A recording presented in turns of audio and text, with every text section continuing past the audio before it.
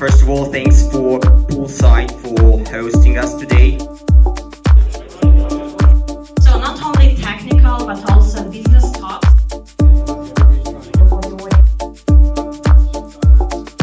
I've been helping founders for the past three or four years in At this moment in time, the folks who last the longest are the ones most likely to succeed.